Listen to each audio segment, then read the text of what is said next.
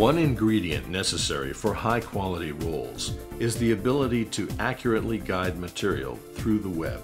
The Polaris controller from Fife makes accuracy easy to attain. Polaris uses a menu-driven interface. Actions that you want the web guide to perform can be automatically or manually programmed through the Polaris interface. If you want to manually shift the web to the left, press the jog left button when in the manual mode and the web moves left. There is no need to understand the physics behind the guide components. Automatic setup can be achieved through the pressing of a simple sequence of buttons. Polaris will provide detailed information to you about the status of the web guide and the parameters that are in effect for a particular run.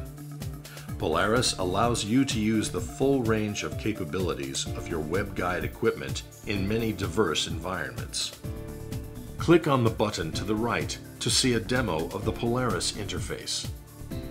Contact Fife for more specific information about how Polaris can simplify your web guiding needs.